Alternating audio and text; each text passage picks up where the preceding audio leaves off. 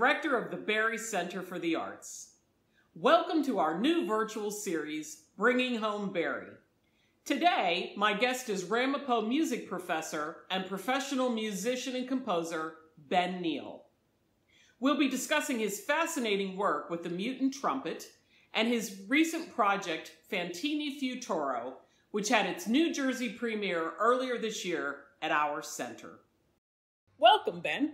Hi, thanks a lot for having me. Great to be here. So, at the beginning of our opening here, you got to see our audience saw a little snippet of your work from Fantini Futuro. And I'm curious why, you know, what the impetus was behind that project and really why you took a historical figure and used it with such contemporary technology in your work. In terms of this particular piece, I was looking for a model that would reflect what I'm trying to do with the mutant trumpet, which my artistic project for three decades has been to develop a new instrument that integrates electronics, very sophisticated interactivity, computer, uh, computer music with the acoustic instrument. And so I looked at Fantini as a kind of model for that because of the fact that Fantini was the first person who is known to have performed the trumpet indoors. Until Fantini, the trumpet was an outdoor instrument only. It was used in battle, it was used for the hunt and different kinds of pageantry. Uh, but Fantini wrote one of the very first method books for trumpet in 1638. And as I say, he was known to be the first person to do an indoor concert with the trumpet uh, which is a, was a really transformational, revolutionary kind of an event. He was a musical celebrity in his time. He, he, he was uh, very well known, very recognized as being an innovator. And so, in this tradition of sampling, where we try to express ourselves through someone else's work, I just got very interested in using him as a model for my own development and trying to mirror what I've tried to do in terms of bringing the trumpet into the virtual world. Whereas he was bringing it from outdoors to indoors, I've tried to bring it from the physical world into the virtual. How did you come to combine music and, and your instrument specifically with technology? I mean, what experiences pushed you in that direction? So, as I mentioned, I was trained as a classical trumpet player, but I always had a strong interest in a lot of different kinds of music, particularly popular music. Uh, I was uh, very much enamored of David Bowie, Brian Eno, uh, the jazz fusion of Miles Davis. And so, as I became uh, more accomplished as a trumpet player and started looking at a career as uh, a, an orchestral musician. I was taking some orchestral auditions and whatnot, and did make the finals on the first couple that I took. But I, I started to get more and more interested in creating my own music, being a composer. And uh, I was lucky enough to have a teacher where I was going to school in Ohio, Isato Pellegrini, who really encouraged me in that direction. I was starting to play all this contemporary music and you know, he would say to me in my lessons, well, you know, I think you should really try to write music like that. So I, I had the idea, but, but where I really got started with it was at the same time that I was in school there uh, in Northeast Ohio. Uh, the, the punk new wave scene was really blowing up there. Uh, Devo, uh, Pere Ubu, The Pretenders, there was a really active scene of clubs and bands that were doing all kinds of experimental things, but in a popular music context. And that was really the first way that I started to use the mutant trumpet, to develop the mutant trumpet, and to create my own music. I always wanted it to be integrated with electronics. And around this time, I was experimenting with putting multiple bells on the trumpet and a, and a trombone slide. I had a friend that I was playing with who was a, a, brass instrument maker. He had worked at the King Instrument Factory. So he helped me to construct the first one, which was a really pathetic looking thing that I used to carry around in a laundry bag. Uh, so, you know, like many of these experiments, it started out as almost like a joke.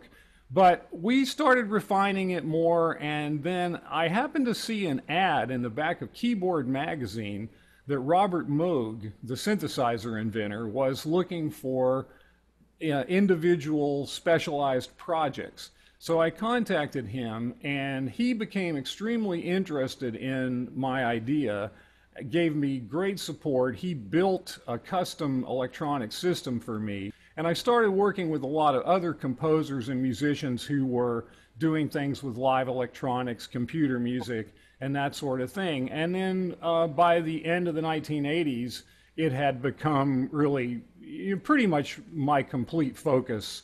This is the Mutant Trumpet version 4, created over the last several years with a team of instrument makers, technicians, and programmers in the Netherlands, Australia, and New York City. I've been developing the Mutant Trumpet as the primary vehicle for my work as a composer-performer since the 1980s. You can see it has three bells instead of the normal single bell, which I'm able to switch between with this extra set of valves, creating multi-timbral effects.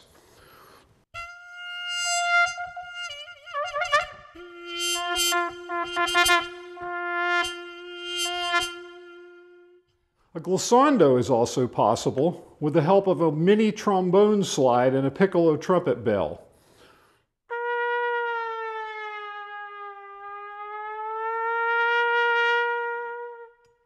A quarter tone valve enables me to play quarter tones.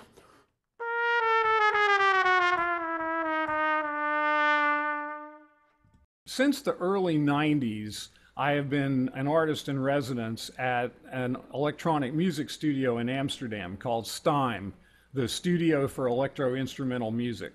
And STEIM is a really amazing place that is strictly dedicated to the development of new live performance music technologies, music and interactive video. So I had developed the last version with them uh, in 2006, but as we all know, what happens with technology is over the course of eight, ten years, it becomes obsolete. So the the the board, the the uh, the circuitry that's built into the instrument uh, was getting to the point to where it wouldn't work with uh, any of the newer computers and software. So I needed to update it. In this instance, I wanted to really have a, a, an instrument built from scratch.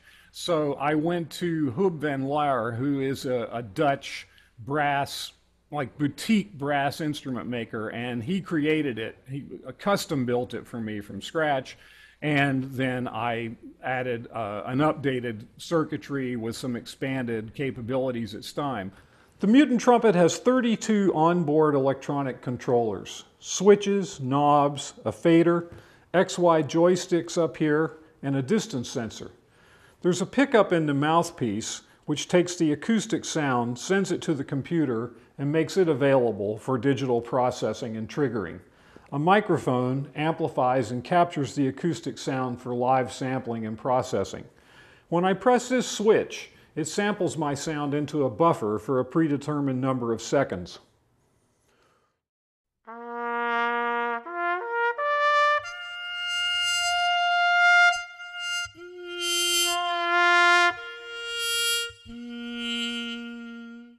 Now when I start to play other notes, I'll trigger that sound back.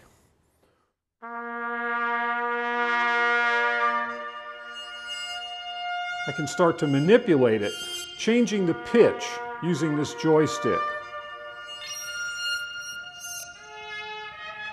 The joystick is tuned to the overtone series to reflect the harmonic structure of the trumpet.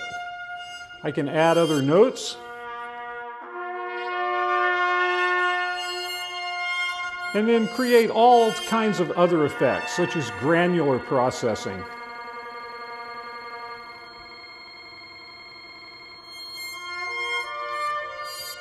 When I press another switch on the trumpet, I can have the computer play back what I just played.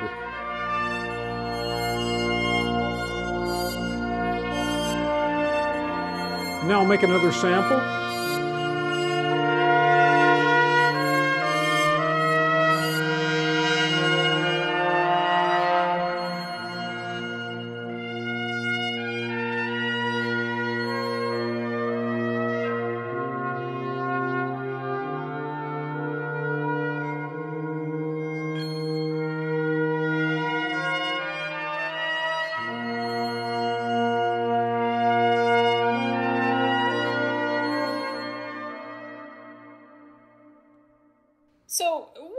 Development of this piece like for you? Uh, what kind of challenges did you face trying to put Fantini Futuro together? The Fantini piece, in addition to being a, an artwork that I wanted to make, it was a vehicle for me to develop this this instrument. Uh, and so it was there was a lot of trial and error. My first notes for the piece uh, actually went back as far as 2012. Um, and that was around the time that I started sketching out uh, the ideas for the new trumpet. And then around 2014, that was when I really started putting together the instrument and getting more, more serious about it.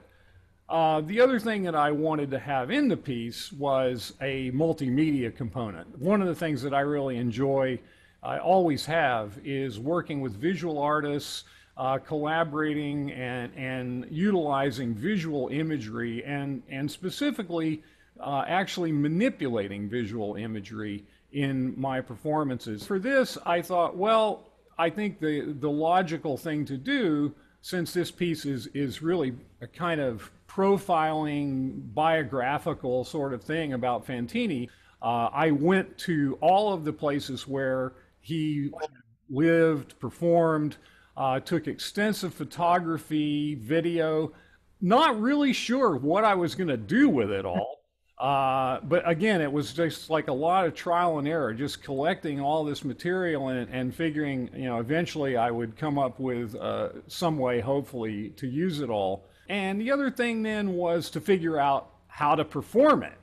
Uh, one of the things about Fantini's music and all of the music of this early Baroque period is that it's extremely simple.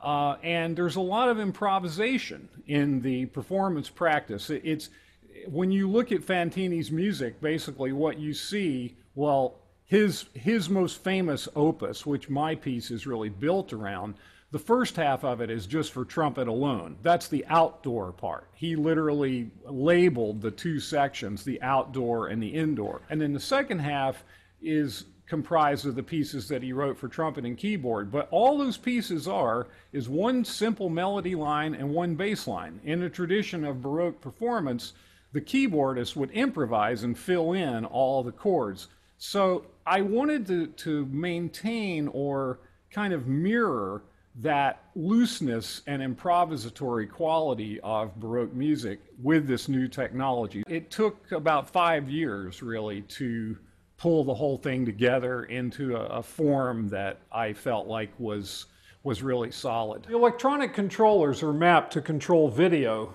as well as audio. In this example, the length of the live audio samples and the number of flags in the video are controlled by the same two knobs, one here and one over on this side. So I'll play a short phrase, that phrase will be sampled, and then as I start changing the length and the repetition of the notes in that phrase, you'll see the flags multiply in a similar ratio.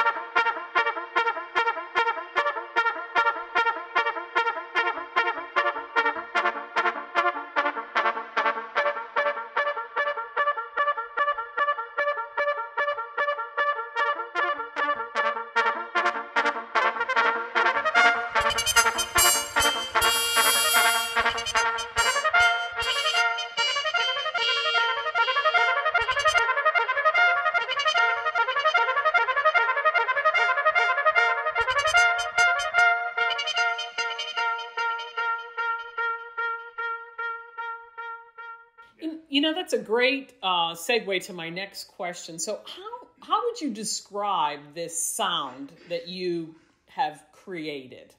So, one of my favorite quotes that's been written about me, probably the, my most favorite quote, was from a 1997 article in Wired magazine where the writer said Ben Neill is using a schizophrenic trumpet to create art music for the people. And that's always been my goal was to make music that was interesting and had uh, some advanced ideas, but that was also accessible.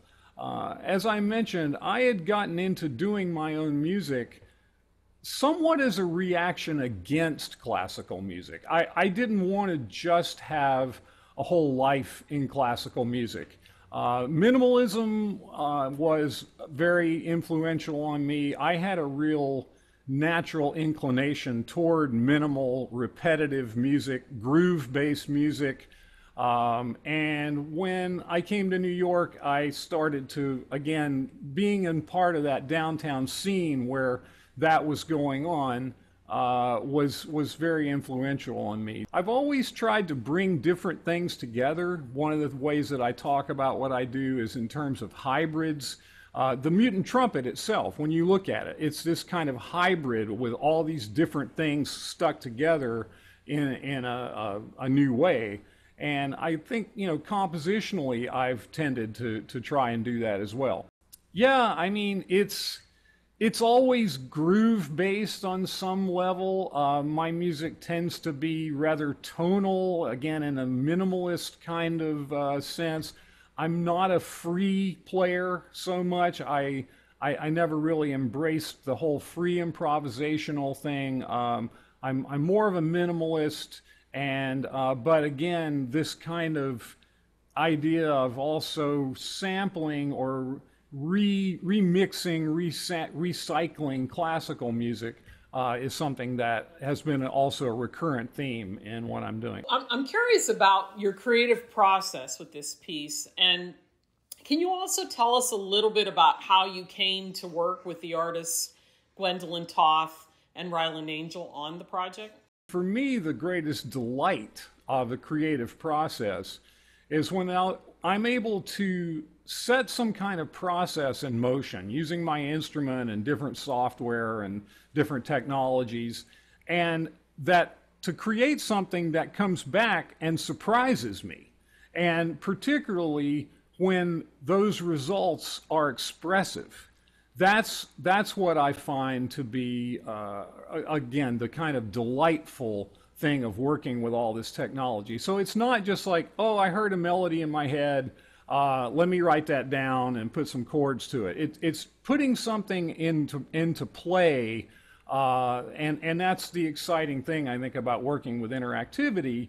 And we see this happening now more and more in terms of artificial intelligence that is built into a lot of the newer commercial software and, and that kind of thing. I'm much more involved with uh, a practice of discovery and seeking things out and just like I talked about with the Fantini piece, I might have to experiment and improvise and try different things in my studio for, you know, months, you know, and then finally, oh yeah, then finally hit on something that, yeah, that's really exciting. That's great. And then once I get that going, then I get into the process of refining the surfaces, tailoring whatever the musical material is for the context that I'm trying to create. But but that that whole ex, that whole kind of experimenting, trying to discover something is is really that's at, at the crux of, uh, of my creative process. Okay, so so Fantini's uh, opus, which Fantini Futuro is based on, is titled "Method for Learning to Play the Trumpet in a Warlike Way." As well as musically with the organ, with a mute, with a harpsichord, and with every other instrument. That's the title. The first half is just for trumpet, but then the second half I mentioned is for trumpet with keyboards. And historical research has shown that those pieces were performed either with organ or harpsichord. So I was always thinking that I would need to have a keyboardist. Gwen and I had actually toured together in Europe quite a bit in the late 80s and done a lot of performing together of contemporary music. Uh, and she is one of these musicians who did contemporary music and early music. When I was putting this piece together early on, I immediately thought of her because we had had a, a, great relationship, and I knew she was somebody that would understand and could appreciate the contemporary aspect of what I'm doing, while at the same time bringing that real authentic kind of quality to it. Uh, so I approached her about it, and you know she was very receptive to the idea. Um, and she has her own ensemble, uh, early music ensemble called ARTEK, that's very active in New York. And then the other thing I wanted to add to the piece was a vocal component. Now, Fantini didn't write any vocal music, but in the opus that I just mentioned, there were four poems uh, that were written in tribute to him. So I thought it would be nice to use those poems as texts. So I started setting those, and I was I thought about the Baroque countertenor, uh, the male soprano voice, that that would be another thing that would bring that kind of period quality to it. Um, and so she suggested Ryland, who is someone that she works with in her ensemble a lot. And Ryland turned out to be absolutely perfect as well because he also had done a lot of contemporary music. He had some popular music recordings that have been done on major labels. He's worked with Hans Zimmer on films. I mean, he he's somebody who's very very flexible. I would I and and like Gwen, does a lot of early music, but also a lot of very contemporary music.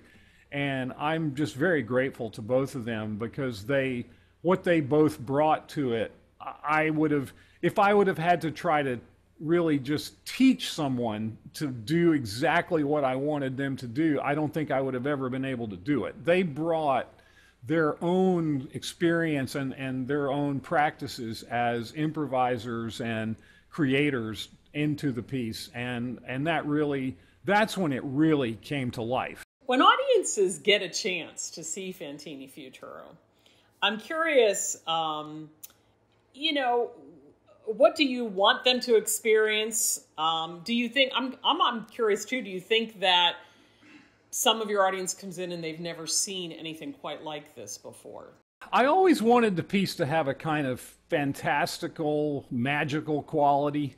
Um, in addition to Fantini's music, one of the other inspirations for me was uh, Terry Riley's uh, uh, tape loop pieces from the 60s, but I also was thinking a bit of kind of a Sergeant Pepper's magical mystery tour kind of vibe.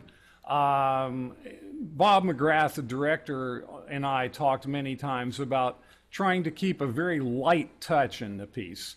Uh, and it's, it's really, the piece is about transformation. That's what I really see it being about. And it's drawing a parallel between my re- redefinition of the trumpet and Fantini's transformation of the trumpet. I hope it delights people and uh, that they experience some kind of magic. Uh, that's the whole idea of using all these different kinds of sensors and you know technologies where things can be the animations are being controlled by my performance. And then that it brings people to kind of reflect on this idea of how technology is transforming not just music, but everything around us, but through the lens of this antique uh, character that we really don't know that much about. So we mentioned, I mentioned at the very beginning that you're on our faculty in music, um, in addition to having this dynamic career, and and I'm wondering how this piece relates to your teaching, and how did the students react to the performance when you did it for us in February? Well, these ideas about sampling, remixing, uh, you know, recontextualizing music, uh, th- these are things that a lot of my courses uh, get into. Uh, I teach several production courses and uh, we, we do a lot of things with remixing and, and assignments where we explore particular uses of sampling. Music online, we do remixes and DJ cultures and other classes, uh, uh, capstone seminar, all these classes. Uh, I talk a lot about that just because you know, in the 35 years that I've been working in this field, sampling has just become more and more uh, a predominant vocabulary. In terms of the actual performance technologies in digital music performance, that's a course that I created. Uh, I started with a, a, like a club, just a, an activity for people to join to have a kind of ensemble to focus on performing, and then we turned it into a class. So that's a course where I get into uh, actually implementing some of the technologies that I use in my performance with the students. Uh, avant-garde and experimental music is another class that we look at that and we, we do some performing of uh, you know, some of these classic avant-garde pieces. So uh, yeah, I mean, it's, I feel like it's pretty strongly uh, integrated into it. I try not to, you know, stand up and talk about my own work all the time because you know that that would get a little tiresome for the students, I think. Uh, but uh, you know the fact that I am very active and I've remained uh, you know very busy and exploring all these different new uh, avenues. Hopefully. I feel that's really necessary for the kind of program that we have, which is really focused on the contemporary side of music. Ben, I'm, I'm curious. Have you ever collaborated, or is you know, or a student done work with you before? I have over the years had faculty student research assistants, and Chris Stevenson was my faculty student research assistant for the Fantini piece, and he was uh, selected as our outstanding graduate in music this year. Uh, Stephanie DiCarlo and Esteban Robolino were my assistants for another opera, electronic opera I did called The Demo uh, around 2014 15. Uh, and as far as this piece, uh, I think some of the students, the feedback that I got was that they were really intrigued by some of the uh, interactivity. You know, I started doing these kind of more theatrical kinds of pieces when I started at Ramapo because up until that time, I was a touring musician. I, I was spending a lot more time on the road performing in clubs, and uh, obviously I wasn't able to do that anymore. So I kind of switched my creative output toward a, a, something that had a research component and then you know pieces that would take some time to develop. And the students that I've had as my research assistants have been extremely helpful in in making these works actually come to life. So, Ben, how do you see this piece fitting in with the rest of your work um, and, and that you've produced over the years? For me, it was a very personal kind of parallel with what I'm trying to do with the trumpet. And perhaps somebody might say that it was presumptuous of me to compare myself with, with Fantini. Obviously, yeah, he's a very important figure in the history of the instrument, but his his attempts and his success at transforming the instrument from this thing that nobody ever thought could actually play music, you know, uh, and and then in trying to mirror that with what I've been trying to do, which is to put the trumpet, the acoustic trumpet, into dialogue, into this kind of interactivity with all these virtual tools I was very inspired by that, and I feel like in some ways it it kind of it's almost like an overview of my approach in terms of being a composer performer and you know all the effort that I've put into uh, developing this new way of, of performing and creating. Thanks again to Ben Neill for joining us today. Look for future conversations coming to our new Bringing Home Berrie series. Thanks for watching.